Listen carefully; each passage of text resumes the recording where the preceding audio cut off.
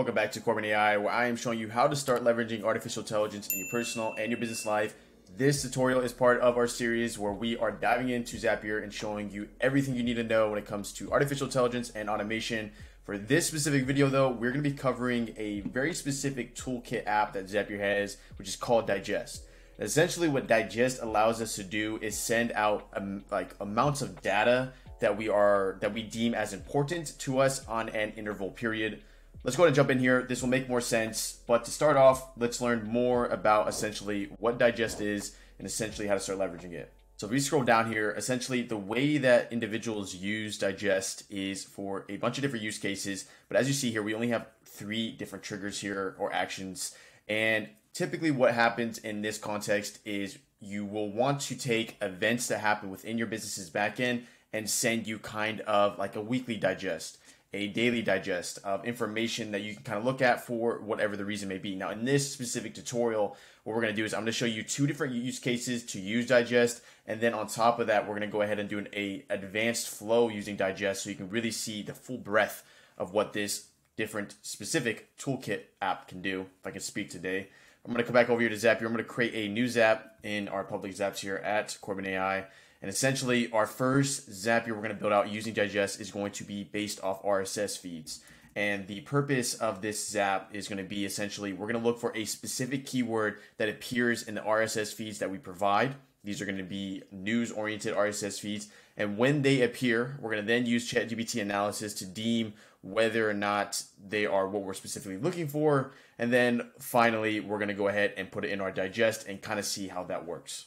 So let's go ahead and rename this to investing alert. And essentially the context we're going to use for today's case is let's just assume that we're looking for a very specific ticker that we want to be alerted on for our when the RSS feed and it shows up in the RSS feed. So we're going to go ahead and do create uh, new items in multiple feeds. This is going to allow you to essentially get a full breadth of different backends or different uh, you know service providers. So from here, you're going to provide feed URLs, and all you need to do essentially is find essentially you know different providers of this information that you deem as relevant. So we're going to go ahead and use CNN Money, and we're going to use uh, CNBC Investing RSS feed. So for us, we're going to come down here and look for investing real quick. All right, so as you see here, we got markets. I'm going to go ahead and grab this RSS feed, like this I'm gonna go ahead and copy the URL up here, come back over to Zapier, let's go ahead and exit out of that, put that in there. So we got our first RSS feed, and then the second RSS feed we're gonna use here is going to be from CNBC, and we're gonna go ahead and grab the URL up here. All right, so one thing I want to point out is with that specific URL, I had to come back over here and make sure the RSS feed that you're grabbing has a dot RSS or ends in RSS. And as you see, if you come over here, this was this specific URL in this specific context. But as you see from here, we can go ahead and hit continue here, and then we're going to say, essentially, we can see that we have all the relevant records that show up recently. We're going to go ahead and say continue thing I want to point out here is let's actually continue with a specific record that's going to, you know, align how we're going to approach everything from here on out. So let's go ahead and look through here real quick. Okay, so since this one identifies Barnes and Noble, let's just say in your context, you are looking for articles that are specific to Barnes and Noble. This could be anything. This could be Bitcoin. This could be SPY. This and past this, this could be applied to anything within that specific context. But for here, we're going to go ahead and do a ChatGPT block here, and we're going to go ahead and just say conversation. We're going to hit continue here, continue here, and then we're going to do a user message. We're to say based on this article, and then we're going to go ahead and put semicolon, and we're going to go ahead and give the article title, and then we'll do the article description. And essentially, we'll provide the relevant information here of what we care about. So I'm gonna go ahead and do that. So for the article title, I'm gonna put this in here, and then for the description, put that in there. And we're gonna go ahead and you, you could use GPT 3.5. I'm gonna up it to GPT 4. It requires less proctoring here. And then I'm gonna say generate a yes. Gonna do semicolons here, yes or no if it has to do with Barnes uh, and Noble. So I know this is a very niche example, but I, this is just giving you, an idea of how Digest works, as you'll see here, and also how to leverage ChatGPT if you need to filter the information before even receiving that information, if that makes sense. So we're going to go ahead and test this step here, and then it should say yes. We should just get an output of yes. If not, we're going to have to reproctor this. So we got an output of yes. Perfect. We're going to go ahead and add a filter step here that essentially we're going to use this filter step as a way to make sure that so that every time a new item is found in this RSS feed, we aren't going to be adding it to that digest. And you'll see what I mean here real quick. So we're going to go ahead and do a reply here. I'm going to say, based off the reply, only continue if it exactly matches yes. Then we're going to continue here. And then from here, essentially, since this specific article we were dealing with is going to have to do with Barnes & Noble, because that's what we care about in this context, now we can add that digest block. So essentially, this digest block, we can go ahead and say, uh, append entry and schedule digest. I'm going to continue here, and then we're going to give this digest a title. So we're going to go ahead and just call it, you know, uh, Barnes and Noble information. And oh, I mean, just fell there. It's not that big of a deal. Okay, so we're going to do our entry here, and essentially, this is where we're going to provide our relevant information. So the way we can go ahead and structure this is I can go with title, and then I'm going to do link. So what's important here is as you'll see, so let's go ahead and just real quickly edit this out, and then you can kind of see how this works. So we're gonna go ahead and just say like, let's do weekly and day of the week. Let's say every Sunday we want this digested and sent to us. We're gonna say time of the day. Let's say send it to me, you know, bright early in the morning at 8 a.m. Essentially, the way this works is this. So we're gonna say test step. It found an article and it's gonna push it to this new sheet that it has in the backend. Watch this though. If I retest this step, look what's gonna happen.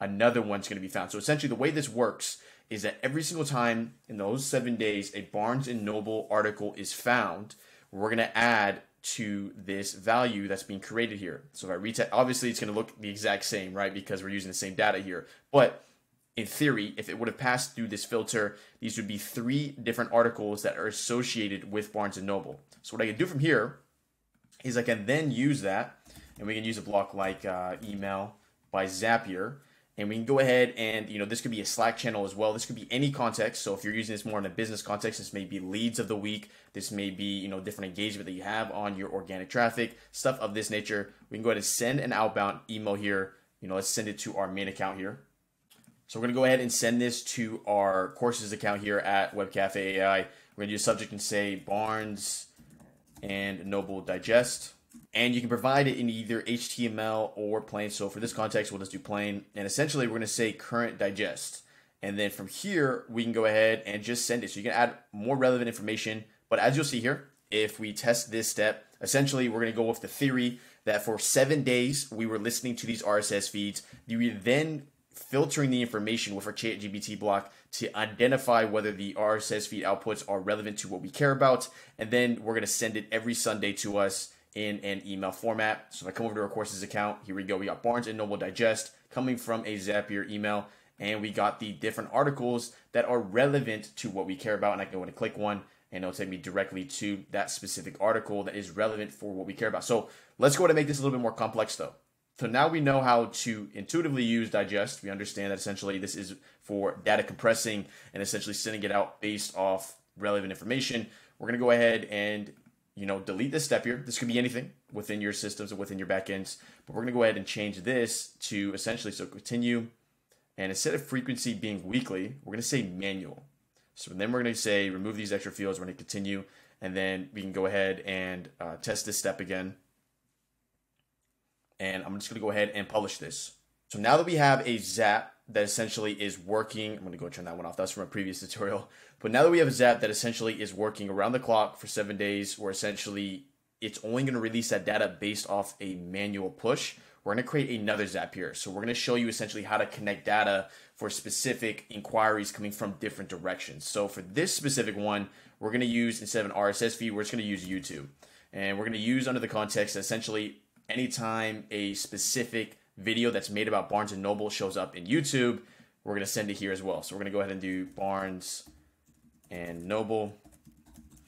And we're going to go ahead and hit continue here, test this trigger. All right, so as you see here, this is going to trigger anytime Barnes and Noble shows up as a new YouTube video. So let's go ahead and, you know, you know, Barnes and Noble, let's do went to Barnes and Noble, hashtag for you page, hashtag viral. We're going to continue with selected here. And what's great about this is I actually don't have to give ChatGPT discretion here due to the fact that the initial trigger is already using Barnes & Noble as its specific keyword. Now that is obviously very specific to this context, but keep in mind, so I don't have to do that. But what I can do here is now that I understand that anything that comes through here is going to be specific to Barnes & Noble, I can go ahead and add this digest block. And with this digest block, we can go ahead and say append entry and schedule digest. And we're going to go ahead and hit continue here.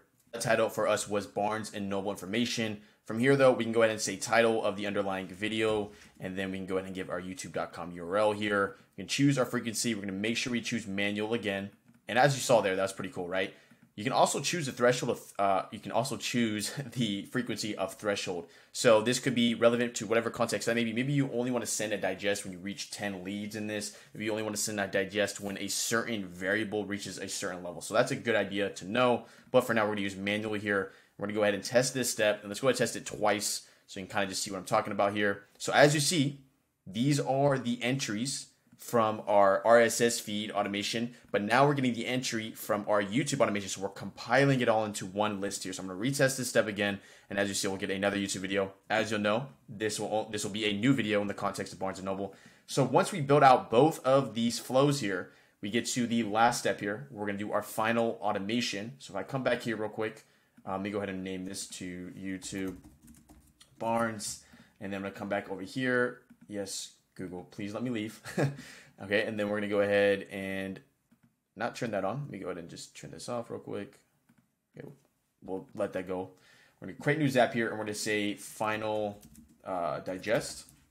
And the way we trigger this is kind of how we had it for just a specific niche one where we chose our frequency. We're just gonna use a scheduler block here. So we're gonna do scheduler, and we're gonna do choose an event every week and then we're going to choose the event of the same times that we had last time. So we're going to have every Sunday at 8 a.m. We're going to go ahead and release this digest. I'm going to say test trigger here, and we're going to do an event of digest here, and very simple here. All we got to do is release existing digest, hit continue, choose the digest, and we already know it's called Barnes & Noble information. We're going to continue here. We're going to test this step. This should be all the relevant information from both of the Zapiers we just created here. As you see, this works. And then finally, this is where we set up our notification process. So in our context, I'm just going to go ahead and use mail by Zapier. If you want to show me mail by Zapier, there we go. Email by Zapier because email. And essentially, we're going to send an outbound email here. Hit, hit continue here, and we're going to go ahead and put our courses account again. If I can spell information, and then the body will just be body plain here. We're going to go ahead and get our final digest and hit continue here, and let's see this in the uh, front end. So we come over to Gmail, as you see here, it shows up right here. We got our relevant emails, or sorry, relevant articles that showed up from our RSS feed automation. Then we got the relevant videos that show up based off our YouTube automation, all compiled, all digested, sent out every Sunday at 8 a.m., put to our email here. So this shows you the value of essentially using digest in the context of Zapier automations. This seems like a powerful way where essentially rather than you kind of ciphering through your data manually for relevant data points that you care about within your business, now you can kind of compile it into a weekly digestible, you know, piece of information that you can read at the end of the week rather than, you know, starting your Monday off or essentially let's let's look at these major KPIs, let's look at these major fundamental stuff. Now we can kind of push it to a digest block that essentially will give us the relevant information that we care about in our business. So if you found value in today's video, make sure to like. It's completely free and helps us here at Corbin AI. If you liked this style video, check out the playlist at the end of this video as we're diving into all 5,000 apps in Zapier. And I'm showing you how to leverage every single one. And on top of that, with artificial intelligence. So this is brand new stuff right on the frontier. Without further ado, we do daily artificial intelligence content. So make sure to subscribe and I'll see you in the next video. Thanks for tuning in. And yes, surprise, I'm an AI avatar. Make sure to explore more here at Corbin AI where we demystify AI for your personal and business life. Until next time.